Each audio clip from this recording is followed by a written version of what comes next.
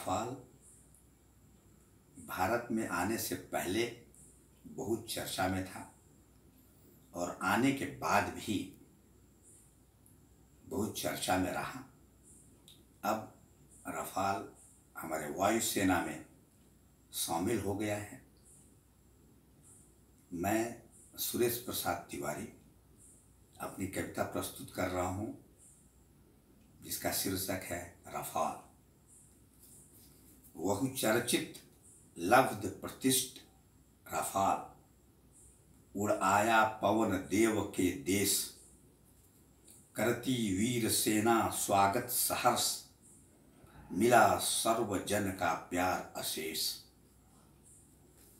रंग रूप अति सुंदर आकर्षक। चाल ढाल बल पर अभिमान। आकाश चीर विचरण निर्भय।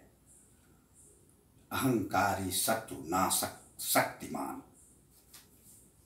पावन भारत भूमि चूम कर धन्य हुआ विख्यात विमान।